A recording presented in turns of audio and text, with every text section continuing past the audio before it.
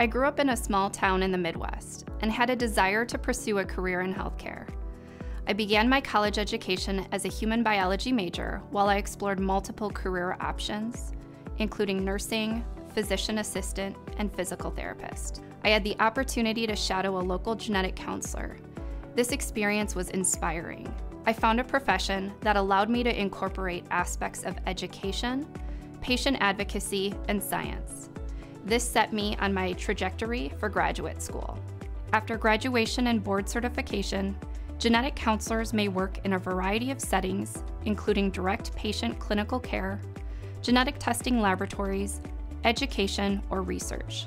The field is continuing to expand, and it's motivating to see the evolving roles and opportunities for genetic counselors. As a genetic counselor, I connect with patients and healthcare professionals discuss genetic testing options, explain genetic diagnoses, and review risks for family members.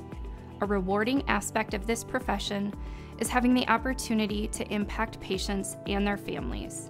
Finding an answer, understanding risk, and connecting the dots for a family is incredibly impactful.